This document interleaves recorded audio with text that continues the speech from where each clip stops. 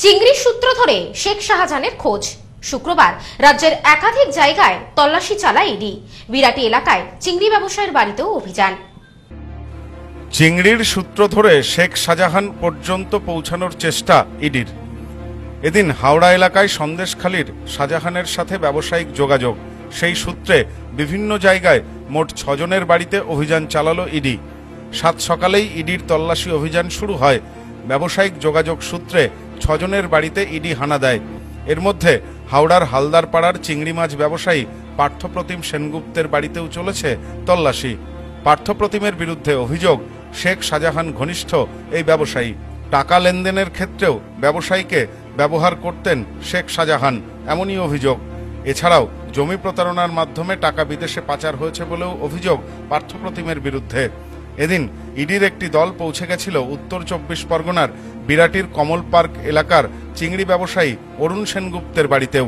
সূত্রের খবর অনুযায়ী সন্দেশখালীর শেখ শাহজাহানের কাছ থেকে চিংড়ি নিতেন বিরাটির অরুণ। ব্যবসায়ী অরুণ সেনগুপ্ত শাহজাহানের থেকে চিংড়ি নিয়ে বিদেশে রপ্তানি করতেন।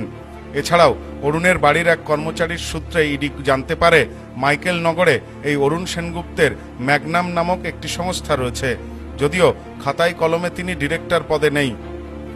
শুক্রবার সকালেই ইডির অভিযান কলকাতা সহ ছটি জায়গায়। প্রসঙ্গত, গত পাঁচই জানুয়ারি রেশন দুর্নীতি কাণ্ডের ভিত্তিতে সন্দেশখালীর শেখ শাহজাহানের বাড়িতে তল্লাশিতে যায় ইডি। বাড়িতে ঢোকার আগেই ইডির আধিকারিকদের শাহজাহানের অনুগামীরা মারধর করে বলে অভিযোগ ওঠে। ঘটনায় জখম হন বেশ কয়েকজন ইডির কর্তা। এরপর থেকেই নিখোঁজ হন সন্দেশখালীর বেতাজ বাদশাহ শেখ শাহজাহান। এরপর তিন তিনবার ইডি শেখ শাহজাহানকে হাজিরার নির্দেশ দিয়েছে। তিনবারই শাহজাহান হাজিরা এড়িয়ে যায়। এর পরপরই বেআইনিভাবে জমির জবরদখল সন্দেশখালী গোটা এলাকা জুড়ে শাহজাহানের অনুগামীদের অত্যাচার নারী নির্যাতনের গুরুতর অভিযোগ উঠে এসেছে। আজ ফের শাহজাহানকে হাজিরার নির্দেশ দিয়েছে ইডি। শাহজাহানের খোঁজে ইডির নজরে এসেছে চিংড়ি ব্যবসায়ীরা। বর্তমানে ইডি অনুমান করছে এই চিংড়ির সূত্র ধরেই শাহজাহানের নাগাল পাওয়া যাবে। ভালো মানে ব্যবহার খুব ভালো ছিল। তো এনার বাড়িতে আজকে ইডি রেট কি ভাবছে ভাববো কি দাদা?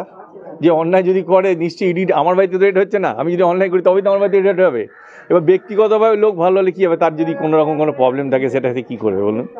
পাড়ায় এই ধরনের লোক আর আপনি তো খেটে খাচ্ছি হ্যাঁ খেটে খাচ্ছি। আমার কপাল আমি খেটে খাচ্ছি। আজকে লোকে চুরি যত করবে তত আমরা এরকম খেটে খাব। তাই না? আজকে ইডি রেটটা হচ্ছে কেন? আজকে আমরা যে সাধারণ মানুষ আজকে এক শ্রেণির লোকের হাতে এত পয়সা চলে গেছে জানে গরিবের হাতে পয়সা নেই। নে তুমি আমি আমরা ডেলিভারি বয় কাজ করে খেটে খাচ্ছি। আর কি করব দাদা বলুন যেরকম ব্যুরো রিপোর্ট নিউজ নোম্যান্সল্যান্ড উত্তর চব্বিশ পরগনা।